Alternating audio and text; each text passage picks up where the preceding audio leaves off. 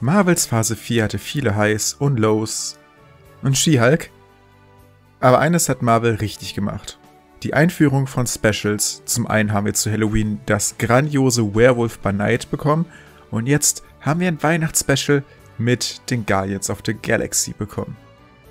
Dabei ist nicht nur besonders hervorzuheben, dass es James Gunns vorletztes Marvel-Projekt ist, da er mit dem Erscheinen von Guardians 3 dann endgültig zu DC wechselt. Nein, das Grundkonzept ist quasi ein Meme.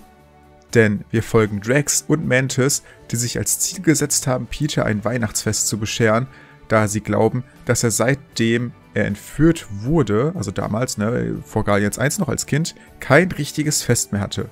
Und weil Gamora ja auch schon seit längerem verstorben ist, beziehungsweise die 2014er Gamora noch irgendwie rumläuft, aber weg ist und niemand weiß, wo sie ist, und es ist ja auch irgendwie noch eine ganz andere Figur ohne Character Arc, ist ja auch ein bisschen traurig. Naja, und die beiden machen sich nun auf die Suche nach dem legendären Kevin Bacon. Äh, also nicht, nicht den, sondern, sondern den. Genau.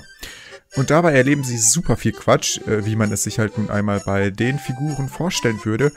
Und es funktioniert. Drax hat ja sowieso diesen komischen Humor, weil er nicht viel äh, versteht so und selbst einen sehr makaberen Humor hat, sagen wir es mal so.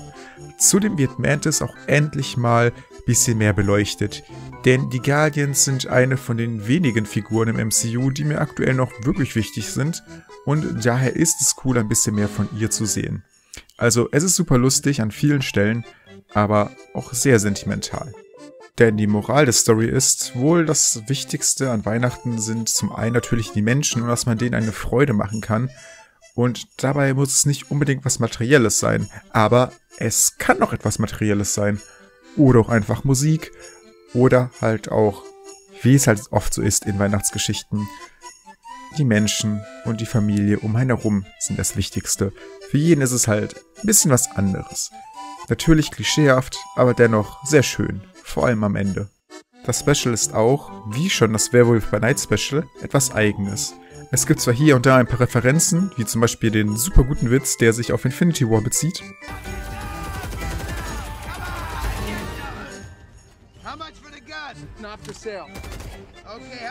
Arm? Oh, I'll get that arm. Let the small kids sing so we can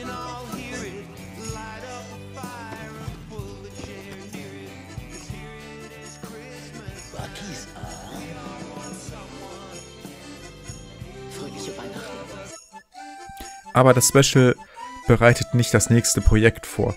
Es ist nicht ein weiteres Produkt auf den äh, Content-Maschinen, Fließbändern des MCUs. Nein, es ist ein eigenes Projekt mit sehr viel Herz und so ein Geschenk nehme ich sehr, sehr gerne von Marvel an.